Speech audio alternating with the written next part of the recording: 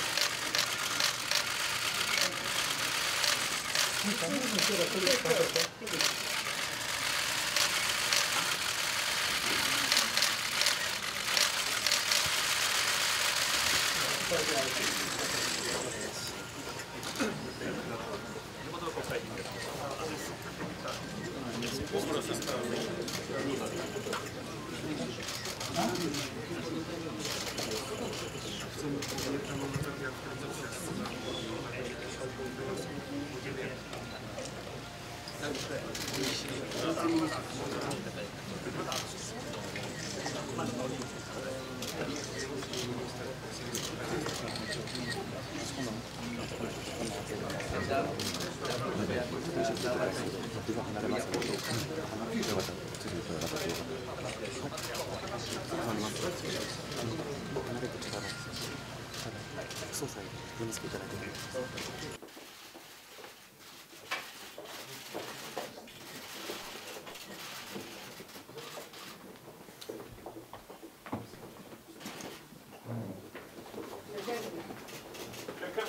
Checar.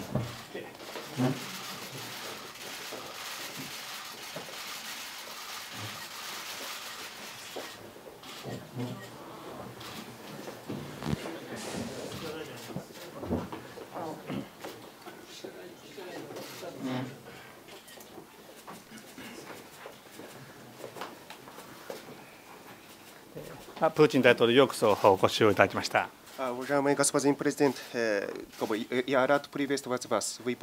大統領としての11年ぶりの訪日を私の故郷である長門市でお迎えできて本当に嬉しく思います。как всем известно, вы впервые за последние 11 лет посещаете Японию. Я очень рад тому, что в этот раз я могу принять вас именно в моем городе Нагато.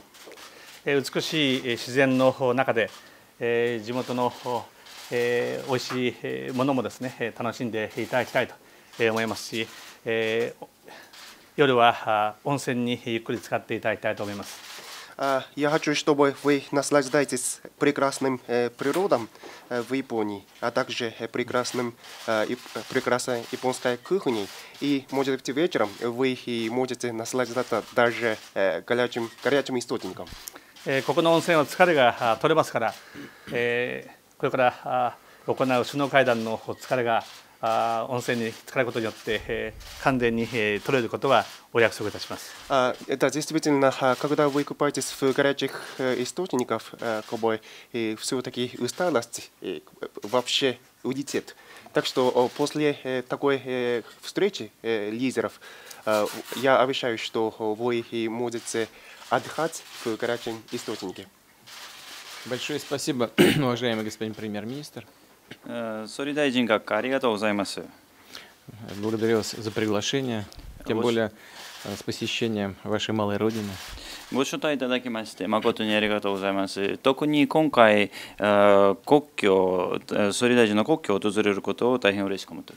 вами встречаемся регулярно. Вот последний раз виделись в Перу. えー定期的に会談を行われておりまして、つい最近はペルでお会いしました。 Благодаря вашим усилиям мы видим, э, происходит определенный сдвиг в развитии российско-японских отношений. えー総理大臣のおご尽力のため、ロシアと日本との関係が前進に進んでいるということを見ております。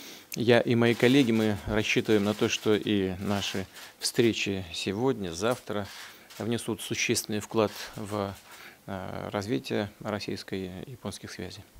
またあ私とあ私どもの同僚は、えー本日と明日行われる会談は日露関係の前進に大きく貢献すると期待しております。 Спасибо большое и за, э, за то, что можно будет э, ознакомиться с дос- такими достопримечательностями э, этого замечательного места, как э, горячие источники. またこの地域で有名な温泉を訪れる機会を与えていただきまして誠にありがとうございます。которых, как вы сказали, можно отдохнуть. やっぱり疲れを取れるというところですね。Но, но, но лучше сильно не уставать. でもあの一番いいなのはと大変疲れないということです。Хотя источники это интересно. Спасибо большое. もちろん温泉も楽しみにしております。Благодарю. ありがとうございます。 Аригато.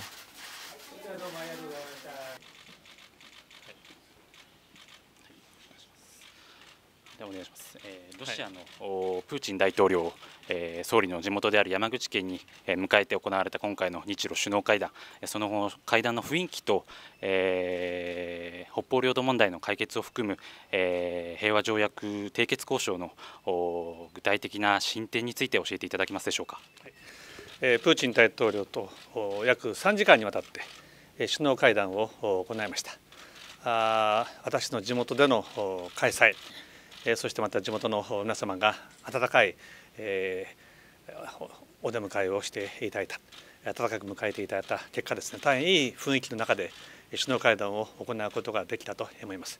えこの後ですねえ主にま経済関係についてですねえさらにえ会談を行う予定でございますが少人数の会談におきましてはえー二国間の問題あるいは国際的な課題についてそしてその国際的な課題についてロシアが建設的な役割を果たしていくことの重要性あるいはまた日本とロシアが共に取り組んでいくことによってですねさまざまな問題を解決していくことができるということについて会談を行いました。また2人だけの会談については約95分会談を行いました。平和条約の問題を中心に議論をしたところでございます。まあ、本日はですねこれまでのえーソチ、えーウラジオストクそしてリマでの議論を踏まえまして元島民の皆さんの故郷への自由訪問。えーそしてえー4島における日露両国の特別な制度の下でのえー共同経済活動。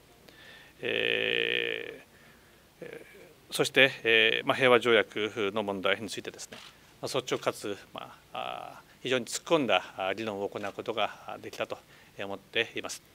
えー、2人だけの会談においてはですね、えーまあ、先般、えーお目にかかった元島民の皆様からあお預かりをしたあ手紙を、えーお渡しをいたしました。えーその場で、え1枚の手紙をおロシア語で書かれていた手紙については、えーその場でですねえープーチン大統領はあ読んでえおられました。えーもうお平均年齢が81歳えーになります。えーまさに時間がないという気持ちの島民の皆様のえーお気持ちをしっかりと胸にえ刻んでですねえー会談を行いました。えーまあ、議論は今日また続くわけでございますし明日また東京に場所を移しまして引き続きえー議論を行ってまいります。そして2人の会談の結あ会談の結果につきましてはですね2人で明日えー会見をの場においてですねご報告をしたいと思っています。終わります。